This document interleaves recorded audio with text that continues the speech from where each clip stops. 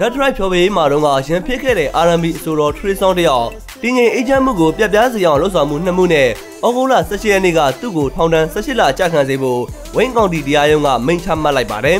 ။အသက်32နှစ်အရွယ် Trey Songz ဟာပြီးခဲ့တဲ့ဒီဇင်ဘာလတုန်းကဖြော်ပေးအဆုံးသက်ချိန်ရောက်ပြီးလို့အကြောင်းကြားချိန်မှာဖြော်ပေးစမင်းပေါ်ကနေမိုက်ခရိုဖုန်းတွေစောင်းမောက်တွေနဲ့ပြပောက်ခဲ့တယ်လို့ရဲတက်ချက်တယောက်ကိုလည်းထိုးကျိတ်ခဲ့ပါတယ်။နာမည်ရင် Tremaine Nivasan လို့ခေါ်တဲ့ Trey Songz ဟာ Detroit ကိုချစ်တယ်လို့တရားဝင်ကိုလာတော့ကပြောခဲ့ပြီးမတိမငြိမ်ဖြစ်အောင်သူမရည်ရွယ်ခဲ့တာမို့တောင်းပန်ပါတယ်လို့ဆိုပါတယ် I mean, you know, in today's society, things can happen at a party, things can happen at a school. You know, it, it's about uh, being safe and just taking taking control of your environments. You know, and when you're ကို in နီး these နာရှိသလိုကိုပဲ places, လက်ကြည့်နေရတော့ making ပြဿနာ sure တက်တာပေါ့လေ and staying ဘာ out တစ် of ခု the မှ way အမခံ is, ချက် you မရှိ know, ဘူးဗျ it- nothing is guaranteed. ဒါကြောင့်လက်ရှိရထားတဲ့ဘဝရဲ့ So all I say is မိနစ်စက္ကန့်တိုင်းမှာ live ပျော်အောင်မနေကြပါ